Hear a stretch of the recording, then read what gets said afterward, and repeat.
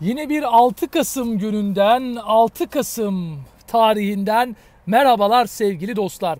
Bu videonun mevzusu 6 Kasım mevzusu değil ama şöyle bir giriş yapmak e, istiyorum. O günlerde e, bir mankenle bir arkadaşının arasında geçen bir mesele magazin medyasına konu olmuştu. Manken arkadaşına mesaj çekiyor. E, manken arkadaş, manken hanımefendi diyor ki tostumu yedim geliyorum diyor. Aşağıda otelin lobisinde bekleyen arkadaşı da tamam diyor. Sonra bu mesaj işte tostumu yedim geliyorum lafı bir fenomen oluyor. O dönem e, medyaya yansımıştı vesaire. O günlerden birkaç gün sonraydı bu maç ve Galatasaray bir maç öncesinde Ali Sami Yen'de sahaya çıktığında Galatasaray'ın maraton tribününde bir pankart. Tostunuzu yiyin geliyoruz. Sonra Fenerbahçe ne yaptı? Bir hafta sonra Galatasaray'ı 6 Kasım 2002'de tam 6-0'la geri gönderdi, evine yolladı ve bir sonraki maçta da Kadıköy'de bu kez Fenerbahçe'nin maratonunda şöyle bir pankart. Golü atan oyuncuların baş harfleri ve ne tesadüf hepsi de tostçu ifadesini dizecek gibi şekilde aynı sıralamada atmışlar golleri. Yani Tuncaylar, Ortegalar, Ceyhunlar, Serhatlar, Ümit Özatlar vesaire. İşte Fenerbahçe böyle bir tarihin ta kendisidir. Neyse 6 Kasım'ı pek konuşmayacağım dedim ama böyle pek herkesin bilmediği bir meseleyi anlatarak konuşmuş oldum. 6 Kasım'a da çok takılmamak lazım. Üzerinden 19 sene geçmiş aşağı yukarı 19-20 sene geçmiş. Fenerbahçe yeni tarihler yazabilmeli, geleceğe bakmalı. Bunu da burada yeri gelmişken söyleyeyim. Şimdi Fenerbahçe'de ee, yanlış gördüğüm bir mesele var. Bir uyarıda bulunacağım. Şimdi Fenerbahçe Antwerp'i nasıl yendi? Biz teknik olarak sahaya çıkan oyuncular, onların performansı, oyun anlayışı olarak yorumladık. Fakat servis edilen bir haber var. Bugün birçok gazetede var. Nedir o haber? Ki ben çok katılmıyorum buna. Ee, işte Vitor Pereira maç öncesi takımla konuşuyor. Sizler benim kariyerimde beraber çalıştığım en kaliteli oyuncularsınız diyor. Ee, arkasından da e, taraftarımız müthiş bakın burada bile otelin kapısında varlar diyor. Hakikaten Fenerbahçe maça giderken meşaleler yakan Brüksel'de Belçika'da e, Belçika'da taraftarlarının konvoyuyla maça gidiyor Antwerp maçına. Bunlardan bahsediyor. Yani oyuncuların kalbine giriyor. Bu çok doğru. Bu gerçekleşmiş bir olay. Ve Fenerbahçe kazanıyor. Sonra Fenerbahçe'nin kazanmasını genel olarak işte bu konuşmaya, bu kenetlenmeye vesaire bağlıyorlar. Bunlar lazım ama bunlar sizin gerçeklikleriniz kazanmanın, galibiyetin gerçeklikleri olamaz arkadaşlar. Fenerbahçe bu motivasyonun yanı sıra sahaya çıkardığı doğru 11 ile kazandı. Mesela Vitor Pereira sakatlıktan dönünce Gustavo'yu, Luis Gustavo'yu sahaya koydu ilk 11'e. Yanına yine Crespo'yu veya Zayt'sı koydu. Sosa'yı kesti. Mert Hakan Yandaş'ı kesti. Mesut'u yine oynatmamaya devam etti. Sıkıntı büyüdü. Provokasyonlar bu mesele üzerinden devam etti. İrfan Can'ı kesti. Efendim Avrupa'da da devam ediyorum. Gruptan çıktım. Ligde de varım. Bakın Türkiye Kupası maçları da başladı. Ben rotasyon yapmak zorundayım dedi. Fenerbahçe yine bundan bu maçın öncesinde yaşadığı 3-4 maçlık puan hasreti, yenilgi serisine geri döner. Yani işin sadece konuşmayla vesaire olacak bir tarafı yok. Bir rakam vereceğim ve bu konudan çıkıp bir başka konuya döneceğim. İki tane Antwerp maçı oynadı Fenerbahçe değil mi? Bu iki Antwerp maçında birincisinde Luis Gustavo, ikincisinde Sos oynadı. Luis Gustavo'nun ilk Antwerp maçındaki rakamları kilit pas 0. Pas arası 1. Top çalma 4. Geri koşu 0.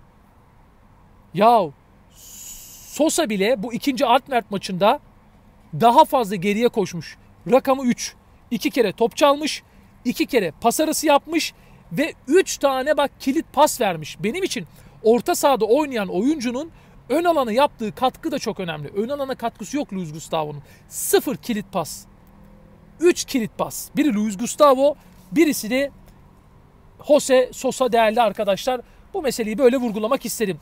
Tabi Fenerbahçe'nin galibiyeti Türkiye'deki gazetelerde ve bazı yorumcu meslektaşlarımda ya Antwerp'i yenersin gel Antep'i yen gel Konya'yı yen şeklinde yorumlansa da Belçika medyası Fenerbahçe'nin hakkını verdi. Dedi ki Belçika medyası mesela Wolfot gazetesi utanç verici şekilde kaybettiler. La Libre gazetesi Antwerp Fenerbahçe'ye yarım saatte knockout oldu. VRT gazetesi, gazetesi ölümcül derecede verimli Fenerbahçe Antwerp'i affetmedi. Çok zayıf Antwerp boş stadyumda çırılçıplak kaldı. Böyle yorumları var Belçika gazetelerinin arkadaşlar. Şimdi ben mesela şunu da söyledim. Keşke Galatasaray'da kazansaydı, keşke Beşiktaş'ta. Neden? Avrupa'da ülke puanı sıralamasında geldiğimiz noktayı şimdi özetliyorum.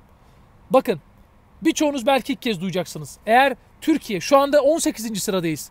Avrupa'da o ülkenin takımlarının son 5 sezonda elde ettiği puanlar bir torbaya konuluyor ve böyle ülke puanları hesaplanıyor. Türkiye şu anda 18. sırada. Avrupa'da gerçek anlamda Fenerbahçe ile Galatasaray kaldı. Bu takımlarımızın puan kazanmaya devam etmesi lazım. Çünkü eğer ilk 15'in arasına giremezsek 2 sezon sonrasında Şampiyonlar Ligi'ne bir tane ama o da önelemeden takım göndereceğiz.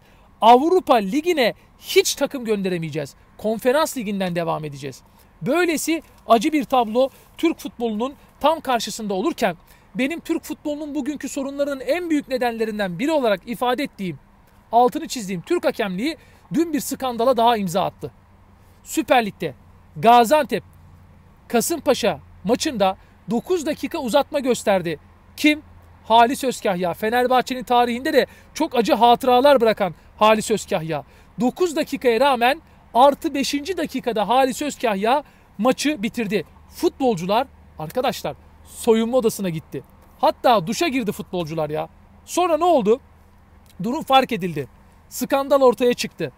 Takımlar geri çağrıldı Halis Özkahya tarafından ve 2-0 Gaziantep'in üstünlüğüyle devam eden karşılaşma 4 dakika daha oynandı. Eğer takımlardan birisi kabul etmese kimse sahaya çıkmazdı ve bu bir skandal olarak ortaya çıkardı. Mesela Antep 2-0 değil 2-1 önde. Değil mi? Antep ben çıkmıyorum kardeşim duşa girdim maç bitti dedi. Çıkaramazsın. Kasımpaşa da diyecek ki ya 4 dakika var benim bir gol atsam beraberlik bir puan belki ben ligde kalacağım. İşte Türk ben Ali Sözkahya'ya yine de üzüldüm. Çok kızdığım bir hakem olmasına rağmen.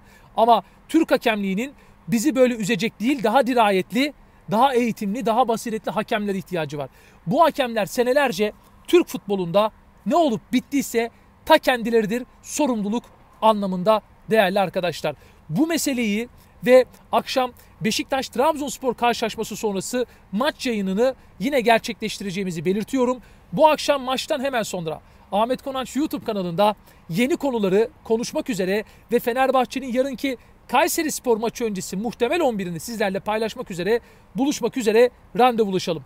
Bu akşam Beşiktaş Trabzonspor maçından sonra canlı yayında buluşalım. Değerli dostlar lütfen videoyu beğenmeyi, beni Facebook'ta ve YouTube'da takip ediyorsanız abonelik için çevrenize önermeyi unutmayın. Sizlerin desteği oldukça Ahmet Konanç YouTube kanalında biz yolumuza devam edeceğiz. Her yerde ve her zaman yayıncılık anlayışıyla tüm motivasyonumuzla sizin sağladığınız konsantrasyonla motivasyonla devam edeceğiz. Kalın sağlıcakla, ailelerinize hürmetler, Fenerbahçe ile kalın.